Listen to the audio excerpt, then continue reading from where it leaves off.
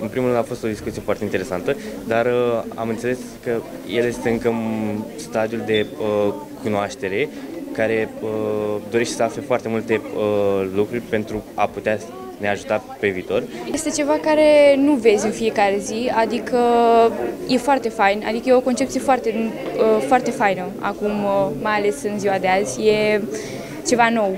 Se pare un proiect foarte interesant și cred că va avea de-a face cu o anumită evoluție a umanității. Poate se va implementa și în viața de zi cu zi genul ăsta de... Mi-aș dori să mai am și alte interacțiuni cu Ion.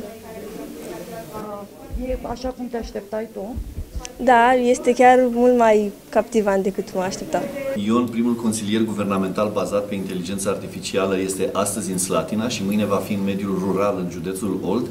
Copiii deja, tinerii, au venit și vor veni uh, de-a lungul întregii zile să interacționeze cu Ion, să-l vadă. Sigur că există multe mituri, multe povești, există ca orice lucru nou oameni care au păreri diverse, însă cel mai bun mod de a-ți forma propria părere este să vii, să-l vezi, să interacționezi cu el și să vezi care sunt lucrurile pe care le face și cu care poate fi util în timp, în societate și nu numai.